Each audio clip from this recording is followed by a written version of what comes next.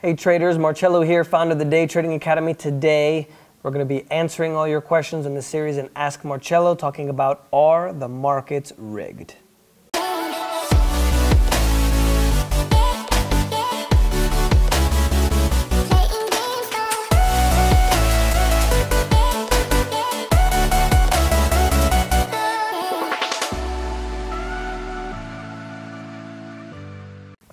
So this question is from Jay. Jay asks, How rigged are the markets?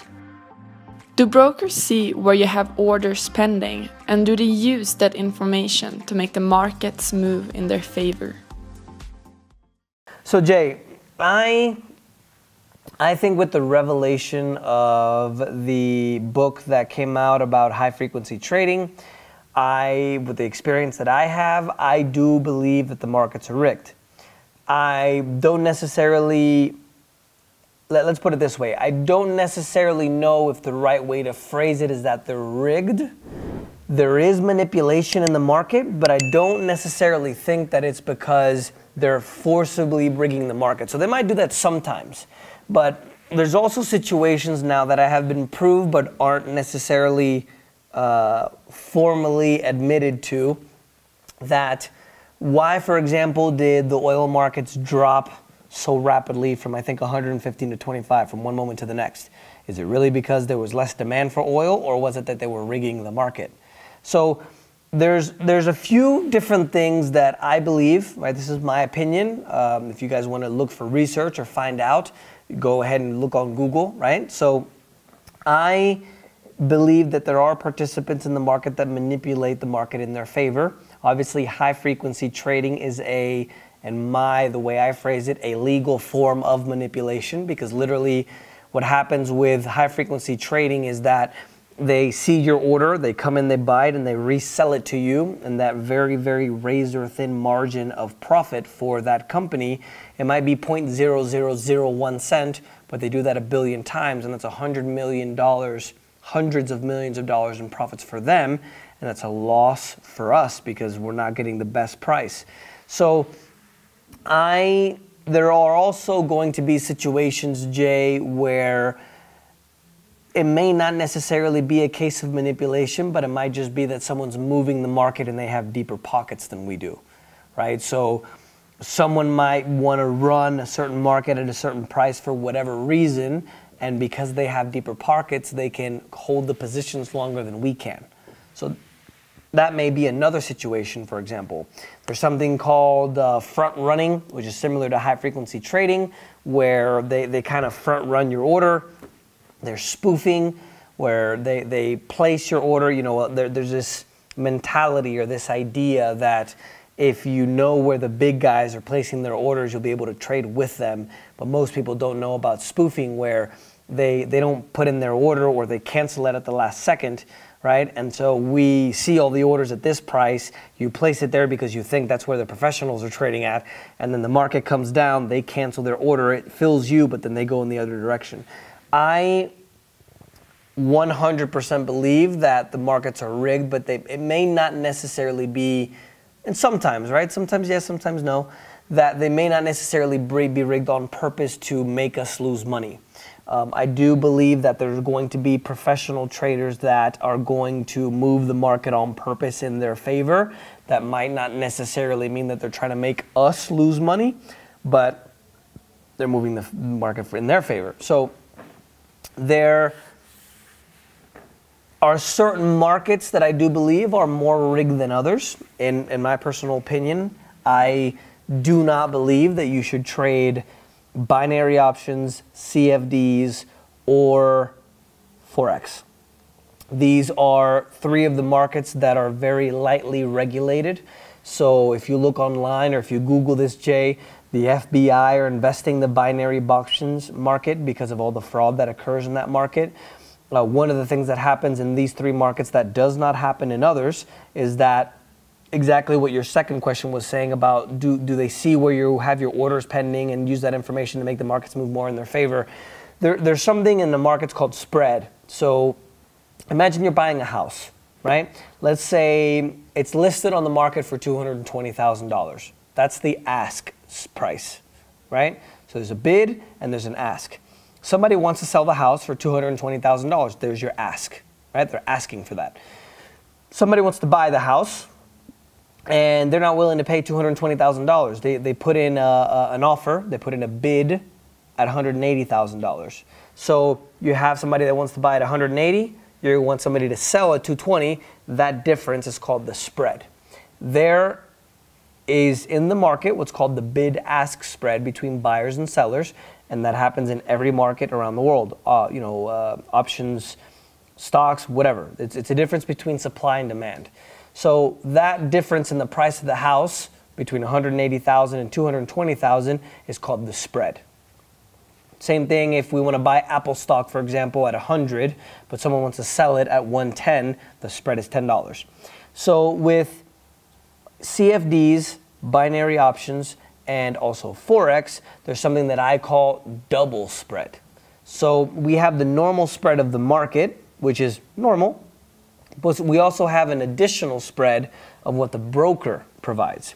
So let's say, for example, in the same example of buying the house, you know, we have the 220 ask price, we have the $180 bid, and then because you put in a bid, a real estate broker wants to automatically charge you $10,000 just because you put in the order. Because I don't know, you used the thing online that automatically gave them the right to choose to charge you even though you never talk to them ever. That would be what happens with Forex, CFDs, and binary options. So the brokers themselves see where your order is at and they literally manipulate the spread. So instead of you buying the house at $180,000, you buy it for a lot more than what you normally would because you have that additional spread that that in this case the broker provides. So I recommend that people don't trade any of those three markets for that reason. I believe that it's a lot harder and binary options and CFDs almost impossible to make money in those markets because of the market manipulation. We also have governments now that are involved. You know, it's not official, but if you look at a lot of the documents from WikiLeaks, you, you can see that.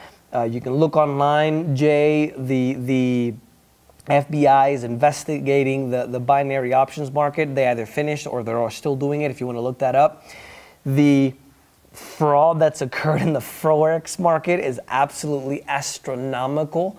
I recently saw another article about traders. I believe it was from HSBC. They earned over half a million dollars from front running their own customers' orders. So I believe that trading in these markets are a lot more difficult than others, especially for beginners. Forex, I do believe that you can make money in, but you have to be very experienced because the majority of the participants in the Forex market are actually uh, institutional traders. And basically, if you don't know the difference between those two, Jay, retail traders are guys like you and I that start off with really small accounts. We sit in our boxes at home. And institutional traders are the guys who works for institutions, banks, uh, hedge funds, and they're moving around tens of thousands or hundreds of thousands of dollars. So, uh, short answer is yes. Long answer is uh, there may be situations in the market where you they might move it in their favor, but doesn't necessarily mean it's rigged. But I do believe that it is rigged. And and one small thing to add there as well, Jay. One of the reasons why we like to trade with things called chick tick charts is because most people trade with candlestick charts and they don't see all the information that appears in the market. So if somebody's trying to move the market and they put in a billion dollars in, in an order or a billion shares of stock, whatever, the only thing you're going to see with candlesticks is the, the bar moves like this. So inside of five minutes, if there's one million transactions, the only thing you're going to see is one bar five minutes, right? So in the span of a day, most people who use candlesticks are only going to see 68 bars of 60 minutes, 16 bars of 30 minutes, uh, 48 bars of 10 minutes, and that never changes. Whereas if you use something like tick charts that are based on transactions, not time frames, you're actually going to be able to see all of the transactions. So this provides a huge advantage because I believe that by looking at all the transactions, you're going to be able to actually see the manipulation happen. So this has various advantages because obviously inside of those five minutes, when you guys only see one bar, or you know five bars of one minute, we see every single transaction that's placed in the market. And because we can see every transaction that's placed in the market, we can actually see the personality of the market. We can see the intention of the orders. We can see the structure, the the the all of that stuff. So I would recommend you looking at tick charts. Me personally, in my experience, i am close to closing on on 16 years in this industry, whether it's teaching traders or uh, actually trading or uh, being a student myself, buying courses, stuff like that, right? This was a long time ago.